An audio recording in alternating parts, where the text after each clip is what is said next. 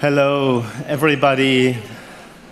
Very much welcome in the Academy of the Arts. I'm very proud to have you here, especially our guests from America, Australia, Africa, and um, we are looking very much forward to have a discussion here in the Academy, which will uh, shake us as an art institution as well as the politics and economics. We started to work on the program Colonial Repercussions one year ago when we finished the exhibition project Uncertain States.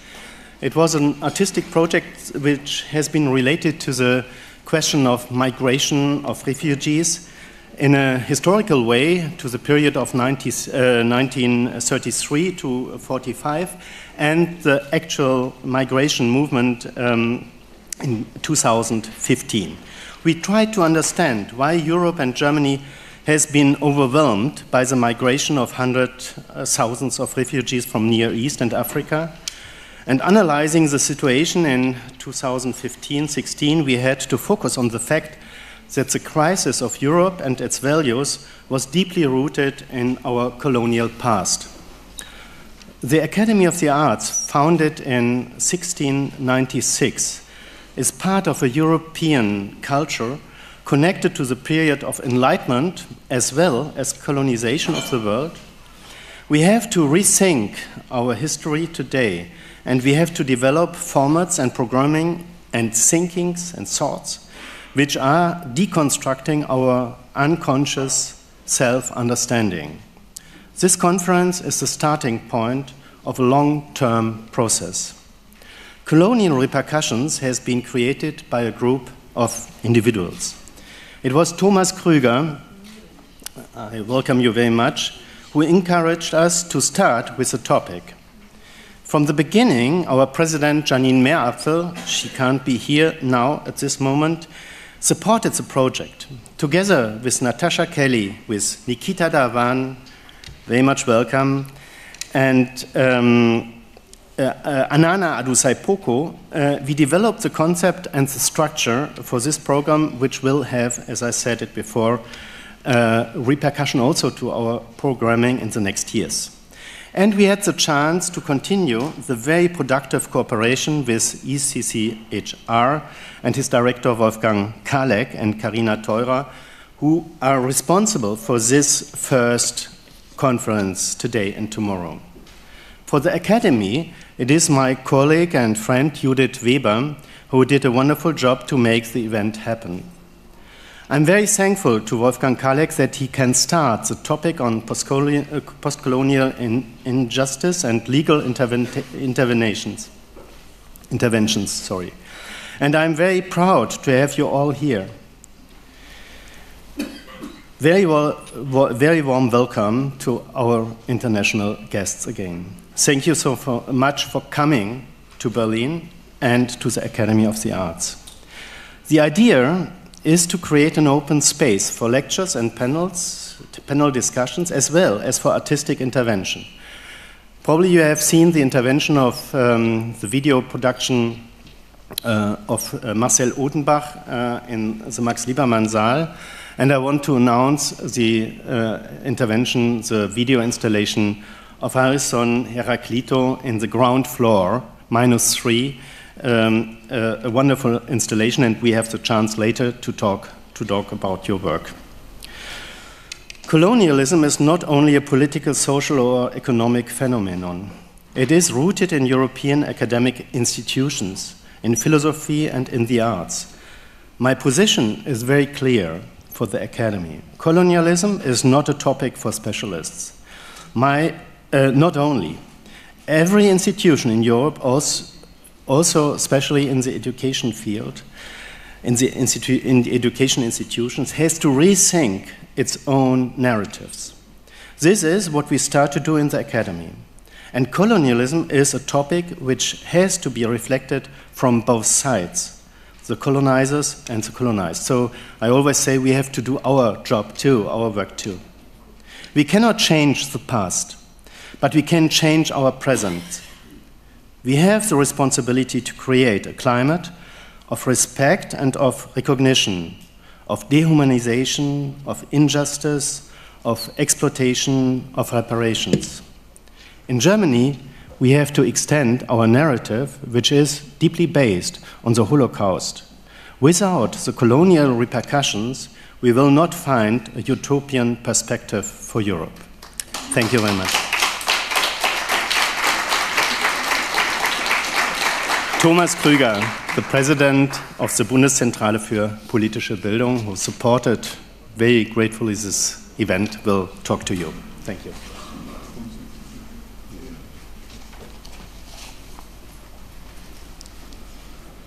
Sehr geehrter Nikita Davan, lieber Johannes Odenthal, lieber Wolfgang Kalek, sehr geehrter Professor Makao Mutua, sehr geehrter Professor Anthony Engi, meine sehr verehrten Damen und Herren. Ausgangspunkt unserer Kooperation zwischen der Akademie der Künste und der Bundeszentrale für politische Bildung ist der virulente Befund dass unter anderem kulturelle und edukative Institutionen in unserem Land immer noch blind bezüglich der kolonisierenden Vergangenheit Deutschlands sind. Da kann man sich auch nicht mit dem Argument herausreden, dass der Holocaust die Erinnerungskultur präge und quasi allen anderen äh, Vergangenheiten versiegle. Es ist nicht hinnehmbar, dass im Namen eines grenzenlosen Unrechts ein anderes grenzenloses Unrecht quasi verzwergt und unsichtbar gemacht wird. Wir brauchen öffentliche Resonanzräume, die sich diesem Befund stellen und Wege zu einer Institution Selbstkritik bahnen. Ein umfassender Dekolonisierungsprozess der gesamten Gesellschaft ist längst überfällig und er hat mehrere Dimensionen, denen wir uns mit dieser Veranstaltungsreihe stellen wollen. Mit einer fangen wir heute an. Wenn wir über koloniales bzw. postkoloniales Unrecht sprechen, sprechen wir zwangsläufig auch über Strafverfolgung. Sie ist nicht nur ein wichtiger, wenn nicht sogar elementarer Schritt hin zur materiellen Gerechtigkeit für die Opfer und ihre Angehörigen. Die Strafverfolgung trägt zur Stabilisierung von Postkonfliktgesellschaften bei. Sie versucht, die Wahrheit zu ermitteln oder sich dieser zumindest anzunähern. Wolfgang Kalek bezeichnete Gerichte einmal zutreffend als mögliche Foren des Protests. Durch die Gerichtsverfahren wird nicht nur Unrecht geahndet und Recht gesprochen, die Verfahren erzeugen vor allem Öffentlichkeit und Aufmerksamkeit. Sie sind Aushandlungsorte für Fragen, die eine strafrechtliche Aufarbeitung allein nicht beantworten kann. Beispielsweise, wann Schuld und vor allem schwere Schuld als aufgearbeitet gilt. Oder aber, was Gerechtigkeit ist. Sie ist nämlich nicht per se vorhanden, sie kann nicht per Dekret verordnet werden. Was in einer Gesellschaft allgemeingültig als gerecht empfunden wird, ist immer Gegenstand gesellschaftlicher Aushandlungsprozesse. Wessen Verbrechen werden überhaupt vor Gericht gestellt und vor allem welche nicht? Wessen Opferleid wird sichtbar? Um diese Fragen verhandeln zu können und überhaupt ins Bewusstsein und die Öffentlichkeit zu holen, braucht es Resonanzräume. In den Gerichtssälen geht es nämlich nicht allein um eine strafrechtliche Verfolgung, sie schaffen genau solche Resonanzräume.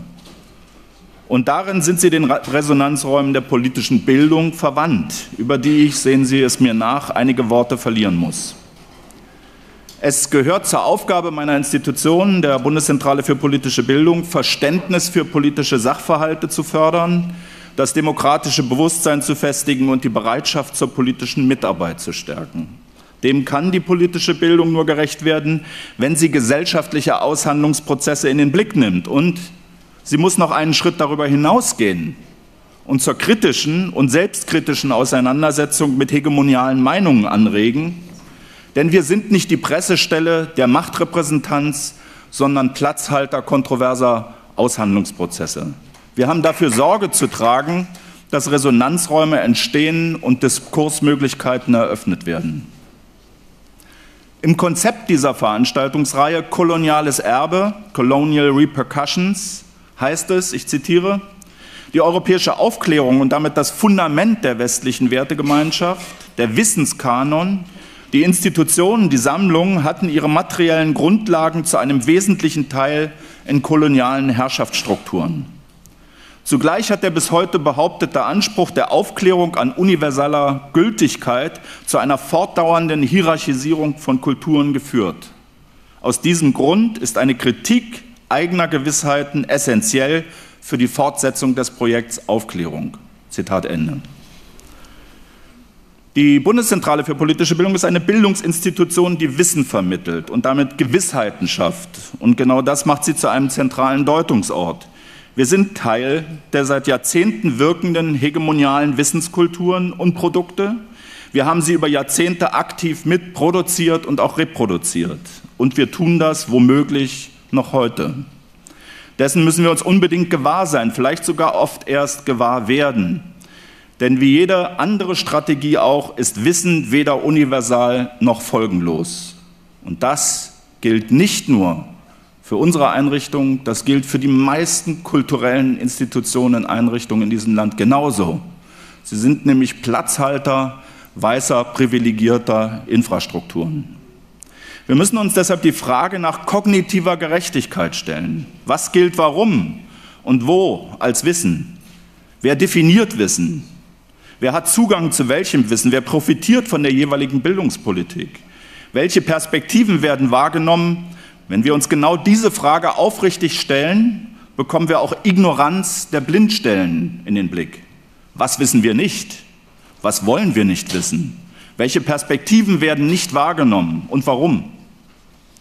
Bisher hat sich die politische Bildung sehr stark von Zielgruppengedanken leiten lassen und dabei vielleicht an der einen oder anderen Stelle übersehen, dass Subjekte in der Erziehung, in der Bildung geformt werden. Die postkoloniale Theoretikerin Gayatri Spivak hat auf diesen Umstand aufmerksam gemacht, indem sie Education, verstanden als Erziehung wie Bildung, als Zitat möglichst zwangsfreie Neuordnung von Begehren beschrieben hat.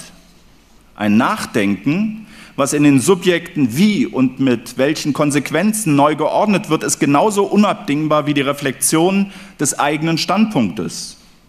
In diesem Sinne fasst Paul Mecherel, Direktor des Center for Migration, Education and Cultural Studies an der Universität Oldenburg, Bildung als ein Zitat, sich selbst durch Wissen in Frage stellen zu lassen, Zitat Ende, auf.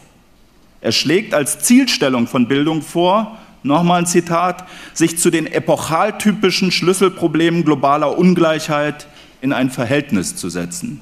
Zitat Ende. Das heißt, dass sich politische Bildung nicht damit begnügen darf, Wissen über globale, europäische, deutsche oder lokale Verhältnisse zu vermitteln, sondern sie muss auch dazu anregen, dass sich die Individuen und sozialen Gruppen mit ihrer mehr oder weniger privilegierten Stellung in der Welt auseinandersetzen und sich ihrer Involviertheit in Strukturen globaler Ungleichheit und Gewalt sowie ihrer spezifischen Handlungsmöglichkeiten bewusst werden. Oder um es mit Spivak zu sagen, die Hinterfragung der eigenen Privilegien bleibt eine Notwendigkeit. Gerade deshalb braucht es eine Solidarität untereinander Unvertrauten, wie Mecherel es beschreibt, das bedeutet zweierlei, wobei beides eng miteinander verknüpft ist. Zum einen geht es darum, von sich selbst Abstand zu nehmen. Das heißt, die eigenen identitären und materiellen Interessen reflektieren zurückzustellen, wenn man so will, zu vernachlässigen. Zum anderen heißt Solidarität aber auch, die anderen als Subjekte anzuerkennen und ihnen im inklusiven Sinn Subjektivität zu ermöglichen und zuzugestehen.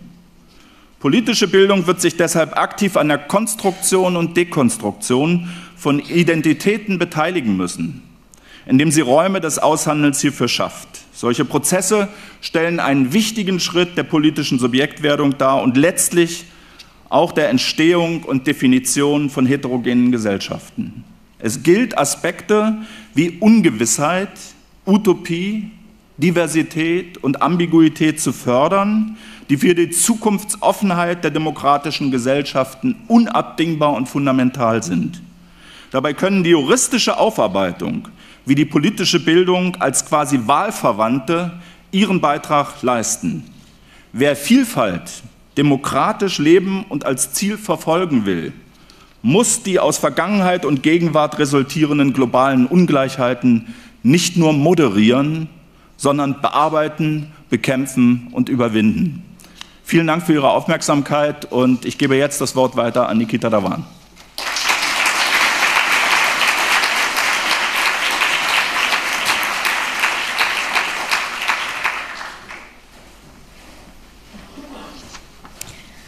As one of the protagonists of Salman Rushdie's novel famously points out, the problem with the British is that their history happened elsewhere, which is why they're ignorant of it.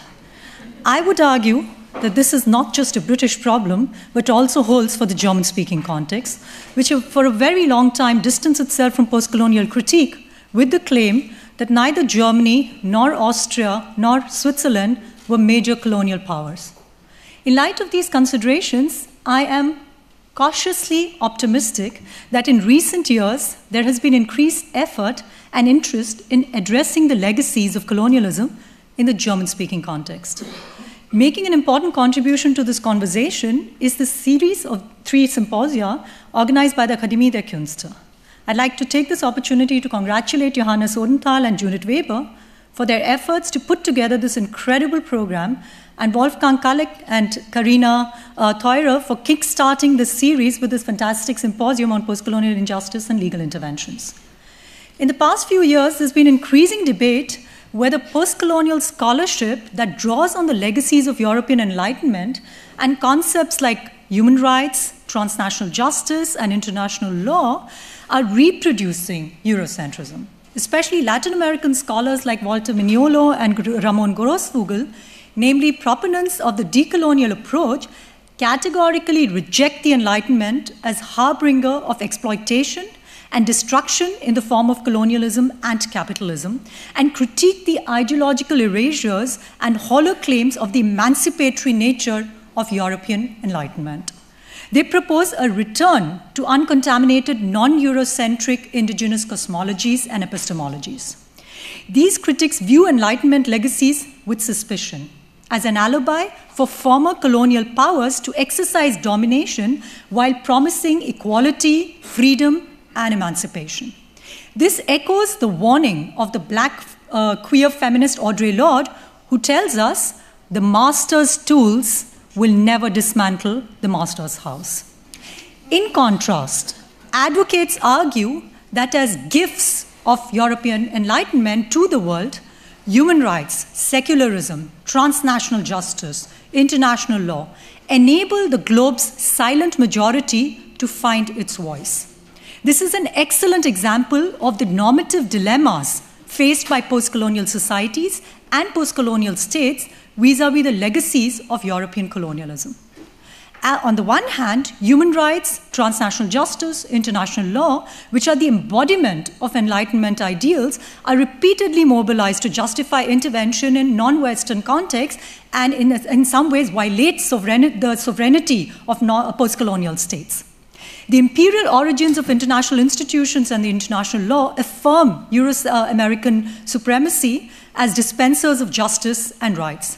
Third world approaches to international law has been a very important intervention to contest the civilizing impulse of international law and international institutions.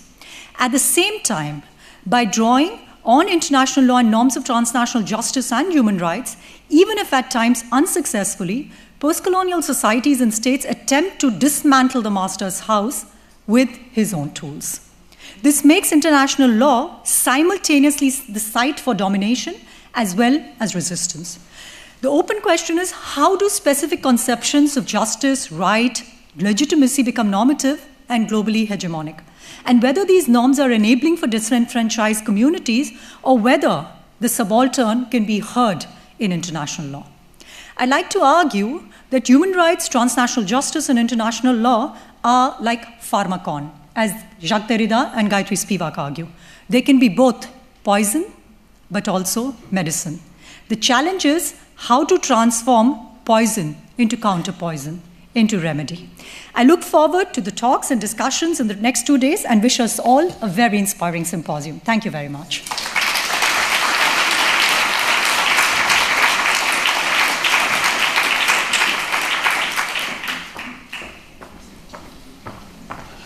Yeah, good, eve good evening, oh, good afternoon, everybody. Um, thank you very much, Nikita, um, Thomas, and Johannes, and a very warm welcome to our guests, uh, especially those who came from far away, like Bernardos and Esther from Namibia. Um, right time to come here. Thank you very much. Um, but also to the others who came from Singapore, from Bombay, Brazil, the US, and, and uh, the rest of Europe. Um, these days, you will find a number of articles on colonialism in German newspapers, uh, especially about um, your case, the Ova Herero and Nama case against Germany in New York, but also about the discussions after Macron's speech about the return of robbed artifacts. But normally, this chapter of European and German history is regarded as a frozen past, nothing to do with today's realities. This is one of the reasons why we decided to hold um, this series. We, that's the Academy of Arts, the, um, the um, Bundeszentrale für politische Bildung, and my organization, the European Center for Constitutional and Human Rights, which is working with the poison medicine uh, uh, uh, Nikita just rightly described. And um, we had um, actually a, a, quite interesting cooperation one and a half years ago in the academy. Um, memory and justice, an exchange between art, law, and civil society. And that's the kind of um, interdisciplinary dialogue we try to mobilize in order to convert poison into medicine. Um, so um, it's, it's clear if you deal with complex historical and current um, crimes like colonialisms, like the military dictatorships in Latin America, like torture in Guantanamo, Syria, you have to mobilize lawyers as well as civil society, as well as arts, science, and everyone. Um, so colonialism and colonial crimes and today's post-colonial injustice de deserves a deeper look by every of these groups, but especially by us, the lawyers. Those lawyers, there are a few, I can assure you, are still um, a major, um, an absolute major minority amongst the lawyers. And so, one of the main goals for us as an, as, as, as, as an NGO um, is to mobilize also lawyers in the legal community against colonial and post colonial justice, against an unjust world economic order, and ongoing violations of human rights committed by states and transnational companies towards global justice. As you can see on the agenda of the, of the, of the um, symposium, it's divided in two parts. The first part is a more theoretical discussion on post colonial perspectives on international law. The second day is focused on legal interventions in post colonial times. Our two keynote speakers, Anthony Anghie and Makau Mutua, are from a group which is probably well known to all of, of you, the Third World Approaches Towards International Law, TWAIL. They will point out that public international law contains in its very foundings many legal figures which legitimated colonialism, including the robbery of land and resources, such as the infamous civilizing mission. Moreover, many of these figures are still inscribed in public international law. As a new economic world order was never established, although um, formal independence was granted or struggled for by the new states, development policies, trade relations, and the global financial systems are mirroring the asymmetries produced by colonial history. How to challenge these injustice will be discussed in the second panel by Aurora, Eugenio Okafor, Celine Tan, Luis Eslava, and Isabel Feichtner. In the evening, um, I mean, you, you, have heard about from Johannes already about uh, Marcel Odenbach's and Ayrson Heraclitus' um, in, um, artistical intervention. For those of you who haven't seen them, one is on the on the on the on, in the basement, and the other one is uh, downstairs. So please use the breaks to go there. And uh, for those of you who haven't heard from Fiston Mwanza Mujila or haven't read his books, this is absolutely recommendable to stay uh, until um, he and his uh, friend musicians uh, are, are um, performing uh, after the end of the talks today. Tomorrow, we will have to talk about Germany, definitely. Obviously, because of the lawsuit um, against Germany on behalf of the community of Ova Herero and Nama at the Southern District Court of New York, but also about the bureaucratic and formalistic manner the German government handles this problem. Esther um, and Bernados um, will, together with Gesine Krüger and Andreas Schüller, deal um, with the lawsuit and the claims for recognition, reparation, and also land reform. But we will also discuss other Germany related topics like the assassination of Manga Bell in Cameroon 1914. Christian um, will talk about that tomorrow, and about um, um, Tanzania um, and the returnal of, of, of, bodies, of skulls. Uh, and in Mboro, so we are very happy to have Mboro here from the Berlin um, activist group Post Colonial. Um, and in the fourth panel, we're talking about other colonial crimes with um, two lawyers from the Netherlands and from Belgium um, Liesbeth Zegveld, who fought very successful for the reparation of Indonesian victims of the Dutch war crimes. And that is something that has to be pointed out. I mean, like uh, Nikita, I'm completely uh, on your side when you say we have to transform the poison into medicine. But there are, it's always worth to try in a, in a concrete situation. And uh, the, the Indonesian example, and this is why we want to point it out, is, is a very good one because um, many of the survivors of of the uh, um, Dutch massacres and also the violation of women got reparation granted. Um, one of the consequences of the already described unjust economic orders are ongoing human rights violations um, committed by national states, both home and host states of transnational corporations, and of course the corporations themselves. While our main claim is the reform of the world economic order, we cannot stay passive towards these ongoing human rights violations because the law is bad. Lawsuits have then also have, because of that reason, have been carried out on the level of national states as well as international, international institutions by organizations um, which are represented here. Um, the Human Rights Law Network in um, India, and Kranti is already here, and the Environmental Rights Action in Nigeria, represented by Williams Chima. Um, one last word. Um, the whole event was booked out very quickly. We could have looked for larger venues um, elsewhere, but we insisted that the Academy here at the Pariser Platz is an appropriate place for our talks, not only to host all of you and discuss with you the upcoming days, but also to try at least to have an impact on the political discussion in Germany. And also for those who are um, interested, we will publish a compilation of the speeches and other contributions in the aftermath of this conference.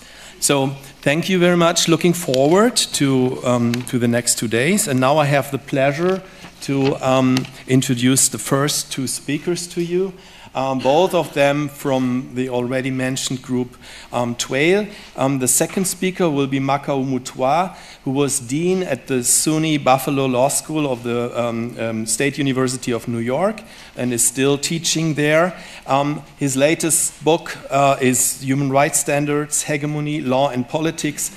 But please allow me to recommend you one special article, which is my all-time favorite in, uh, of, of all the TWAIL uh, publications, and that is Savages, Victims, and Saviors, the Metaphor of Human Rights, um, which is an explicit critique of the attitude of Western human rights organizations, which is worth to be read not only by those who are here, but also by the big human rights, big, the big human rights community in Berlin, of which I see only very few members, um, like Michael Windfuhr, um, but it's worth to, be, to, to, to spread that more. One of the reasons why these articles are not read more is that, for example, there is no tra translation of any article of Makau into German so far. Um, it's a little bit different with Anthony Anghie. Um, who teaches at the National University in Singapore and the University of Utah. Um, his, um, his most important book, if I may say, is Imperialism, Sovereignty, and the Making of International Law. And here we have at least an excerpt of his book published in the Kritische Justiz and also available online for those of you who want to follow his thought a little bit more deeply. Um, so, um, very warm welcome to Anthony and Makau. And Anthony, it's um, yours. Your floor is yours right now. Thank you.